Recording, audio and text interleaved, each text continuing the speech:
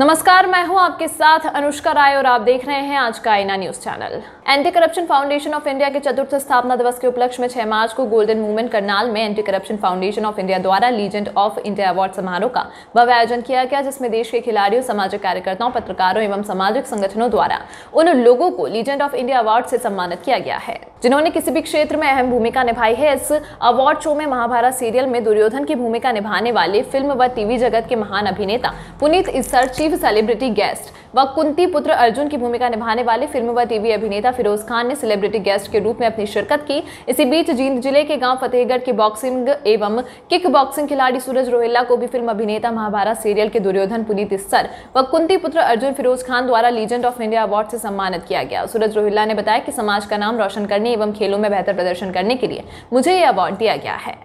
तमाम महत्वपूर्ण खबरों के लिए देखते रहिए आज का आईना न्यूज़ चैनल।